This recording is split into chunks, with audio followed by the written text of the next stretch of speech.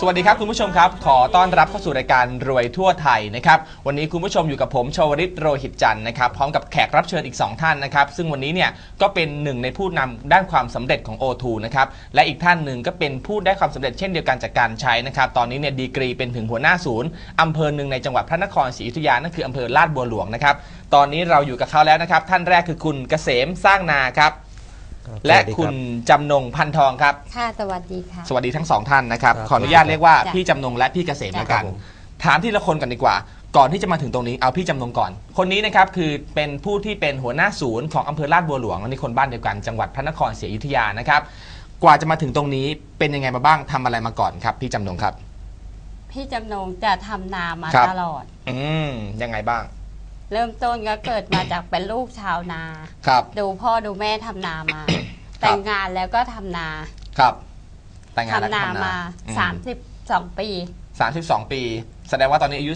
33อายุ50กว่าโอ้โห เป็นไง50กว่าแล้ว50กว่าแสดงว่าทำนามาเกินครึ่งชีวิตแล้ว ใช่แล้วมาอยู่ตรงนี้ได้ยังไงครับ ก็อยากเปลี่ยนแปลงตัวเอง อืมลดละจากสารเคมีให้ออก ครับ เพราะว่าพอไปฉีดสารเคมี ครับสุขภาพไม่ดี อืม แฟนจะแพ้สารเคมีพอไปฉีดทีไรจะกลับมาจะไม่สบายทุกเที่ยว อืมก็อยากเปลี่ยนแปลงตัวเอง ครับ แต่ก็ยังอยู่บนพื้นฐานของการทำนา ก็ยังพื้นฐานของการทำนาคอรัยาบกอยากลดละสารเคมีให้ได้ อืม จากตัวครับ น่ะ ทีนี้เนี่ยบางคนเนี่ยเขาทำกันมาทั้งชีวิตแล้วนะครับคุณผู้ชมหมายถึงว่าทำมาตั้งแต่รุ่นปู่ย่าตายาย มารุ่นคุณพ่อคุณแม่ มาถึงรุ่นเราเนี่ยพอจะมีการเปลี่ยนแปลงเนี่ยเรากลัวบ้างไหมว่าจะเปลี่ยนไปในทางที่ดีหรือไม่ดีกันแน่ตอนนั้นเป็นยังไงบ้าง ตอนนั้นก็กลัวครับกลัวเปลี่ยนเปลี่ยนแปลง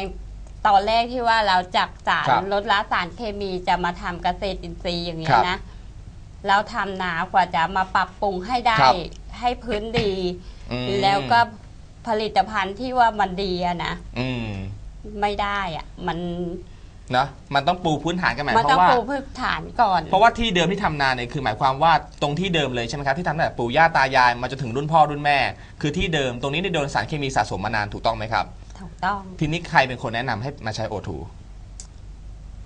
คือมีการอบรม อ่าเป็นเรายังจะไงบ้าง เข้าอบรมบ่อยครับๆ แล้วก็ถ้าจะทำเกษตรอินทรีย์เขาบอกว่าต้องทำใจให้เอาใจมาก่อน อืม ถ้าเอาใจมาก่อนแล้วจะลดละลครับ ดละปล่อยทำเกษตรอินทรีย์ได้อะ อ่าทีนี้ตอนช่วงเวลานั้นเนี่ยมีความดื้อในหัวบ้างไหมหมายความว่าเขาทำมาตั้งแต่ปู่ย่าตายายและรุ่นพ่อรุ่นแม่อยู่ดีๆเราจะมาเปลี่ยนเขาเนี่ยไม่ใช่เรื่องง่ายๆคุณผู้ชมครับ ตรงนี้เนี่ยตอนนั้นเป็นยังไงบ้าง มีคนรอบข้างแบบว่าโอ้ยจะดีเหรอยังไงยังไงเล่าให้ฟังหน่อยช่วงนั้นไม่ดื้อนะ ครับ แต่อายคนข้างเพราะๆเพ ราะเราทำเนี่ยถ้าเราเปลี่ยนแปลงตัวเองครับปุ๊บเนี่ย เรารู้แล้วว่าผลผลิตเราอะจะครับ ด้อยอืมจะสู้เขาไม่ได้ อืมกว่าดีเราจะดีขึ้น ครับ ทนทำนะครับทำช่วงแรกเปลี่ยนแปลงตัวเองนะครับ ทำสู้เขาไม่ได้ เขาก็ว่าเราอะนะ อืมว่าเราอะบ้า อืมว่าเราอะบ้านะครับ ทำแบบผลผลิตสู้เขาไม่ได้อะอืมกว่าดินจะดี ครับ ก็คือว่าใช้เคมีกันมาหมดเลย ใช้เคมีรอบข้างมาหมดก็ใช้เลยเคมี อยู่ดีๆ เราเนี่ยไปอบรมอะไรมาก็ไม่รู้นั่นและเสร็จแล้วปุ๊บก็มาเปลี่ยนแปลง เปลี่ยนแปลง พอหลังจากช่วงที่จะปรับดินเนี่ยเป็นยังไงบ้างครับ เริ่มช่วงมีการเห็นผลชัดเจนไหม ช่วงจะปรับครัดิบนนะ พี่ก็จะไปซื้อแบบมูลสัตว์นะ แบบที่งัวนะอ่า อยู่ข้างฟาร์มเขาเลี้ยงงัวขุน จะครับซื้อมาทีหนึ่งคันรถหกล้ออะอ่า เพียงสองคัน ครับ แล้วก็จะมา หวานทั่วนาเลยนะอือฮึ ใช้มูลสัตว์เนี่ยหวานครับทั่วนา แล้วก็ปรับปรุงด้วยเที่ยวพวกครับ ปรับปรุงที่ดิน ที่ดิน อ่า ใช้พวกปูนขาวครัมั่บงพวกไดโนไมต์มั่ง ครับ หวานผสมผสานไปกับขี้งัว อืมก็ดีได้ระดับหนึ่ง ครับ ก็ยังสู้เขาไม่ได้ อ่า เพราะว่าดินมันเจอมานานแล้วไงเจอถูกไหมครับมานาน สารเคมี แล้วมันเป็นหน้าดินที่เขาตักครับ ขายไปด้วยนะ ครับ ต้นข้าวจะไม่โต ครับ ก็จะเริ่มปรับปรุงตั้งตรงนั้นเรื่อยๆขึ้นมา อืมจนมาเจอผลิตภัณฑ์ตัวนี้ จนมาเจอโอทูจนมาเจอโอ แสดงว่าพี่จำนงเองเนี่ยก็ต้องต่อสู้มาเยอะพอสมควร เพราะว่าปกติแล้วนะครับ ถ้าเกิดว่าเริ่มต้นในดินที่ใหม่เลยเนี่ยก็หมายความว่าคุณสามารถใช้ผลิตภัณฑ์ได้เลยทันที มันก็จะงอกเงยทันที แต่ว่าตรงนี้เนี่ยแสดงว่าเจอปัญหากับการติดลบมา ติดลบ เพราะว่าการเจอปัญหาสารเคมีเป็นระยะเวลานานเนี่ยนานการกว่าจะปรับสภาพได้ถูกไหมครับ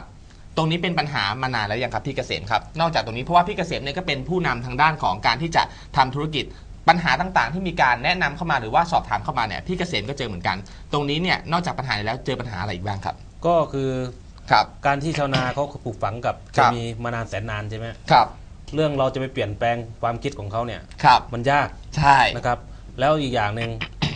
ไอ้ระหว่างร้านค้ากับชาวนาเนี่ยเป็นของคู่ครับกันเป็นเงินเชื่อ ครับ นะครับเป็นเงินเซ็นนะฮะที่อ่าทางชาวบ้านเขาพูดเอาไปกันก่อนแล้วเดี๋ยวค่อยใช่จ่ายทีหลังก็คือของเรานี่เป็นจำหน่ายเงินสดอืมมันก็ต่างกัน ต่างกันแล้วใช่ไหมครับ ใช่เกษตรกรก็ต้องอะไรก็ช่าง ครับ ขอให้จ่ายทีหลังมเชื่อก่อนจ่ายทีหลังครับจะเป็นอย่างนั้น ครับแต่ก็มีเกษตรกรบางท่านนะครับ ครับที่ชอบเรื่องเกษตรอินทรีย์อ่านนะครับเพราะของเรามีส่วนเกี่ยวข้องกับไอเศรษฐกิจ AEC ใช่ไหมครับอ่าใช่ครับประชาคมเศรษฐกิจอาเซียนเข้าใช่มาครับนะครับ ตอนนี้เกษตรกรก็เริ่มตื่นตัวกันบ้างแล้วนะคครัรับโดยที่มันพี่เขามาดูศูนย์การเรียนรู้ของพี่จำนงนะครับอืม ที่ศูนย์ราชบุรีหลวงนะครารัชบบุรีหลวงจังหวัดพใช่ระนคครับรศรีอยุธยาคนเริ่มเห็นผลเยอะกับ นะครับ แล้วสุขภาพไม่ดีด้วยครับ ก็ไปอืมโทษนู่นโทษนี่ที่จริงก็คือสะสมมาตั้งแต่เล็กอะครับ ใช่ ก็ซึมซาบเข้าไปตามผิวหนังมั่ง บางคนเนี่ยอาจจะไม่ได้ไปฉีดเองแหละ ใช่แต่ว่าครับตามพ่อตามแม่ไปตั้งแต่เด็กถูกไหมครับ ใช่ครับ เพราะว่าคนอยุธยาส่วนใหญ่แล้วเนี่ยอาชีพเกษตรกรเนี่ยก็เป็นถือว่าเป็นอาชีพหลักอาชีพหนึ่ง ใช่ครับผม เห็นกันมาตั้งแต่เด็กแล้ว ใช่ หมายความว่าพอโตมาเจออยู่ในช่วงระยะหนึ่งที่แบบว่าเริ่ม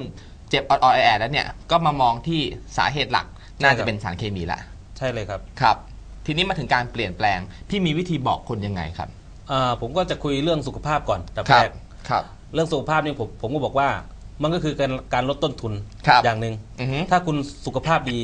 คุณก็รวยแล้วครับ ครับ ถ้าคุณสุขภาพไม่ดีข้าวคุณได้เยอะ คุณก็ใช้คุณก็เอาเงินตรงนั้นน่ะไปรักษามารักษาสุขภาพตัวเอง เท่ากับรายได้คุณไม่ได้เพิ่มขึ้นเลยนะเปล่าแต่ถ้าประคุณโยชน์สุขภาพดีครับ ดินคุณดี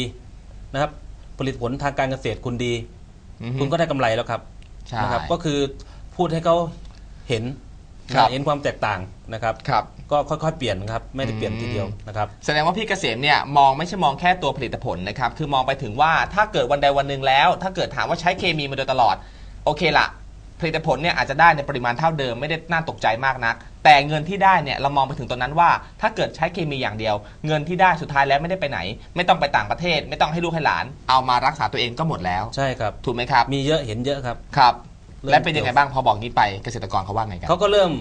ปรับเปลี่ยน ครับนะฮะก็เริ่มเราก็เริ่มแทรกเข้าไปได้บ้างอ่านะครับครับ ตามอายุข้าวครับนะตามสายพันธุ์ข้าวครับเราบอกว่าของเรามันเป็นการฉีดวัคซีนนะครับป้องกันว่าเหมือนเด็กแรกเกิดทำไมเขาถึงฉีดอ่าวัคซีนใช่ก็เพื่ออะไรทั้งที่ไม่มีโรคเลยครับเราก็ยกตัวอย่างให้เขาเห็นภาพใช่ไหมคครัรับบทีนี้เขาก็เริ่มเริ่มเริ่มเริ่มปรับตามเราบ้างนะครับ จากครับจากจากแอนตี้ก็เริ่มเห็นด้วยกับเราใช่ไหมครับ อืมก็คือใจเริ่มมาแล้ว ใช่ครับเพราะว่าข้าวหนหนึ่งนี่ก็คือ ครับมันต้องใช้ระยะเวลา 3-4 เดือนครัถึงบจะได้เก็บเกี่ยวใช่ไหมครับครับ เราก็เชื่อเป็นหน้าๆไป เชื่อใจเราเออค่อยๆปรับเปลี่ยน อ่า ก็มีบางคนที่เชื่อบางคนที่ดื้อรั้นก็มีนะครับ อืม เพราะว่าบางคนไอการเชื่อถือหรือว่าไม่ชอบหน้ากันมันก็มีใช่นะครับถูกต้องครับ ก็ค่อยๆปรับ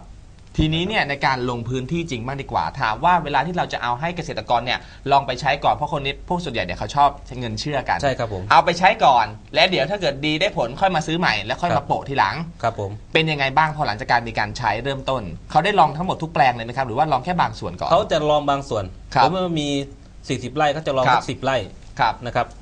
เพื่อเพื่อว่าความเสียหายมันมาจะได้เหลือน้อยอะพูดง่ายๆคือว่าถ้าเกิดลองแล้วเนี่ยถ้าเกิดว่ามันเจ๊งจะได้เจ๊งเป็นแถบใช่ครับๆแต่ถ้าเกิดมันดีเนี่ยโอเคค่อยว่ากันทีหลังครับผมว่าก็คือเป็นความไม่มั่นใจนะครับครับตรงนี้เนี่ยไม่ต้องห่วงเพราะว่าเกิดขึ้นจริง ๆ แล้วเราก็พูดกันเรื่องจริง ว่าถามว่าคนมีที่แปลงหนึ่งทั้งชีวิตเนี่ยมีอะไรใหม่ ๆ เข้ามาจะไปลองหมดรอบเดียวร้อยเปอร์เซ็นต์มันไม่ได้ไม่ได้ครับถูกไหมครับครับทีนี้พอผลมันออกมาเป็นยังไงบ้างครับคุณเกษม ผลออกมาก็ครัคืบอหนึ่งแปลงที่เขาทดลองใช่ไหมครับครับ เรื่องโรคนะครับครับ เรื่องไอ้ภูมิต้านทานของพืชเนี่ยมันอ่ามัมันดีกว่าครับมันแข็งแรงกว่า ครับไม่ว่าจะเกิดไอ้ยิ่งช่วงฤดูนี้นะฮะครับอาทิตย์นี้เดือนนี้แหละครับ อาทิตย์เดียวมีสี่ฤดูสามฤดูนะครับเช้าหมอกเยอะใช่ กลางวันร้อน ครับเย็นมาฝนตกครับ ทุกอย่างเป็นปัจจัยหมดเลยกับโอ้โหพืชเป็นหมดนะครับ ครับ ก็พืชที่มันโตเองโดยธรรมชาตินะฮะครับมันจะมีภูมิคุ้มกันของมันอยู่แล้วนะครับ อืม พืชที่เราไม่ต้องใช้เคมีนะครับ ครับ สังเกตพืชที่เกิดตามป่าเขาอ่านนะครับไม่ค่อยมีโรคนะฮะแข็แต่งแรงถ้าเกิด เราไปใช้เคมีอะพืชก็เป็นสิ่งมีชีวิตนะครับใช่ ถ้าเกิดว่าเราไปใช้เคมีมากเนี่ยครับ เขาก็แสบร้อนแสบตัวเหมือนกันนะครับ ครับแต่เราไม่รู้สึกหรอกครับ แต่ครับ ถ้าเราเอาใจเขาใจเราพืชมาสัมผัสกันเนี่ย ผมว่าเรารู้สึกได้นะครับ อืมการเจริญเติบโตของเขาก็ก็มีการชะงักเหมือนกันครับนะผม อันนี้ก็คือเป็นสิ่งที่เกิดขึ้นใช่จริงครับแล้ว และถามว่าพอเราให้ไปแล้วเนี่ยนะคะให้ผลิตภัณฑ์ไปแล้ว แล้วคนไปใช้ดีขึ้นเนี่ยเราก็เกิดความภาคภูมิใจ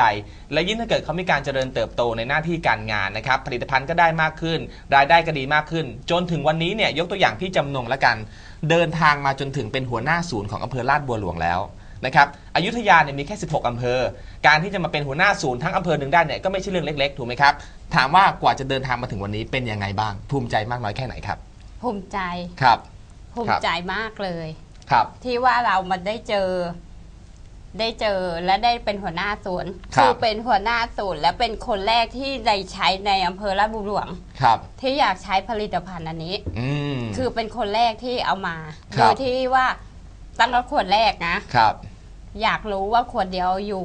แสดงว่าอและยากเป็นเป็นคคนนอยาชกอบลลอองงเป็นคนชอบลอง ครับแล้วอยากรู้ ครับแล้วก็เลยสั่งมาใช้ อืมใช้นา มีนาร้อยฝ่าไร่ครับ ใช้หมดเลย ไม่ครับ ลองคืออยากใช้เลย อืมก็ลองไปเลยวัดกันไปเลย วัดครับเลย ตอนนี้เป็นยังไงบ้างเพื่อนๆรอบๆอำเภอต่างๆ ได้มีการลองขยายกันไปบ้างหรือยังครับ เอาที่ตัวพี่ก่อนนะ อ่าได้เลยครับ ลองเลยครับ ร้อยฝ่าไร่ก็ลอง ครับคนก็ว่าเราบ้าอีก อ่าแต่ก็สู้นะ ครับแต่ลองแล้วเกี่ยวแล้วนะก็ดีขึ้นมาหนึ่งระระดับหนึ่ง ครับแต่ยังสู้เขาไม่ได้ ครับมันต้องค่อยๆ ปรับเปลี่ยนไปเรื่อยครับๆ จนถึงวันเนี้ยหกครับปี วันเนี้ยหกปีแล้ว หกปีวันนี้ ครับ คือโอเค สู้เขาได้เลยอืม ภูมิใจ ครับสู้เขาได้ทุกอย่างเลย ครับ โดยที่เราไม่ต้องใส่ใช้สารเคมีเลยนะสักสุนิขดภาพหนึ่งเราก็ดีขึ้นสุด้ขวยภาพดีขึ้นแฟนก็ไม่เป็นไร ครับ ไม่เป็นอะไรแล้วก็แข็งแรงขึ้น ครับ สุขภาพดีขึ้น อืมทีนี้ย้อนกลับไปถามในวันที่ต้องโดน โอเคนะ เราพูดกันภาษาชาวบ้านเลย ในวันที่ต้อง ทัดทานกับภาษาทัดทานกับเสียงชาวบ้านขี้ปากชาวบ้านเนี่ยที่เขาหาว่าเราบ้าอะไรเงี้ยเราต่อสู้มายังไงจนกระทั่งต่อสู้ ขึ้นมายืนอย่างนี้ได้นะครับ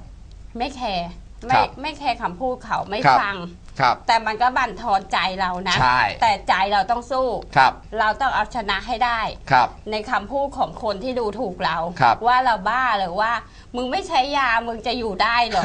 อะไรครับอย่างเงี้ยพูดมีตามทุกภาษาสารพัดชาวบ้านนะ สารพัดใช่ จะให้เราอะ แต่ครับเราก็อดทนนะอืมสู้เขาไม่ได้มาสองครั้งสำคัญครับ แต่จะอดทนมากครับ ทำทุกครั้งที่ว่า คือลองอันเนี้ยนะร้อยฝ่าไร่จะลองหมดครับ ทุกเที่ยวเลยให้ได้จากตรงนี้ขึ้นมา อืม แต่วันนี้ได้แล้วอืม ภูมิใจแล้ว ครับผมแต่ว่าตรงนี้เนี่ยไม่ต้องเป็นห่วงนะครับ เพราะว่าการที่จะมีทีมงานของ O2 เนี่ยเข้าไปช่วยดูแลในระยะเริ่มต้นนะครับ ตรงนี้เนี่ยก็เหมือนมีพี่เลี้ยงเนี่ยคอยดูอยู่ใกล้ๆ นะครับโอเคแหละส่วนหนึ่งที่ต้องมีการต่อสู้กันนั่นคือในเรื่องของคำพูดของชาวบ้าน ที่หาว่าเราบ้าบ้างแหละเปลี่ยนเปลี่ยนแปลงอะไรบ้างเขาทำกันมาตั้งแต่รุ่นปู่ย่าตายาย แต่ตรงนี้เนี่ยในส่วนของ O2 คุณเกษมครับครับผมก็มีการที่จะมีการที่จะอ่าช่วยมีพี่เลี้ยงลงไปดูแลอย่างใกล้ชิดใช่ไหมครับใช่ครับก็คือครับเกี่ยวกับไอ้ถ้าเกิดใครที่ทำเป็นอาชีพนะครับ ผมครับว่าเหมาะมากเลยนะครับที่สนใจเข้ามาครับลองดูก็ได้นะครับครับเพราะว่าส่วนไอ้เรื่องการเทคนิคต่างๆ บริษัทมีรองรับอยู่แล้วข อครับ เพียงเราเปิดใจเข้ามารับรู้รับข้อมูลนะคครัรับบคุณก็จะได้งานใหม่โดยที่นะคุณรักคุณชอบนะครับ นะครับ บางคน